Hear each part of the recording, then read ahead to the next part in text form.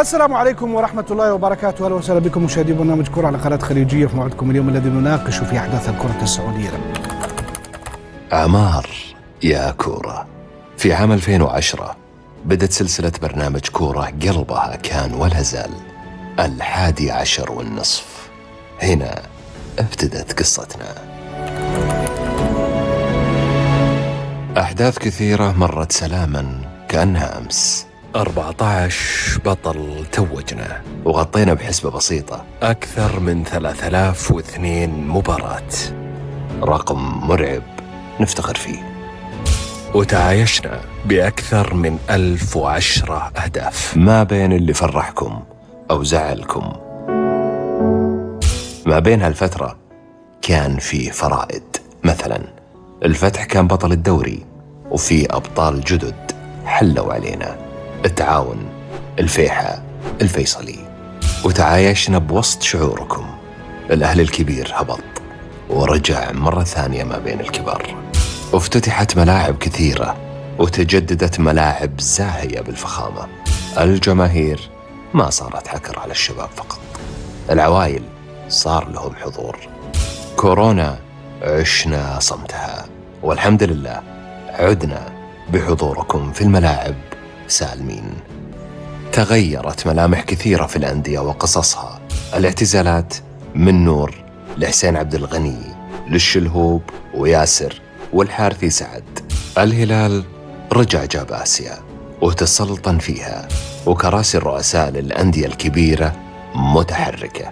الهلال جاه الرئيس السابع الاتحاد الرئيس رقم 14 والستة في النصر والأهلي.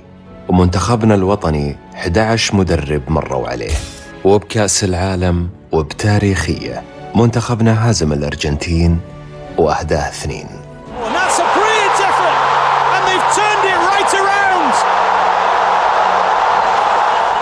وبعد غياب 36 عام الأرجنتين جابت كأس العالم وعلى طاري كأس العالم. الفيفا مر عليه رئيسين بعد ما عشش جوزيف بلاتر لسنوات. أعظم من لمس الكرة. مارادونا وبيليه ودعونا. ونيوكاسل صار سعودي. وجانا صندوق الاستثمارات. القوة بحضور كريستيانو رونالدو للنصر. وبنزيما للاتحاد. ونيمار للهلال. ورياض محرز للأهلي. على هالطاولة حضر شخصيات عظيمة ومهمة. جبنا لكم الحقيقة من مصدرها. المنتخب السعودي خرج من آسيا. الهلال بدون هزيمة دخل موسوعة جينيتس رقص فيها. خيسوس.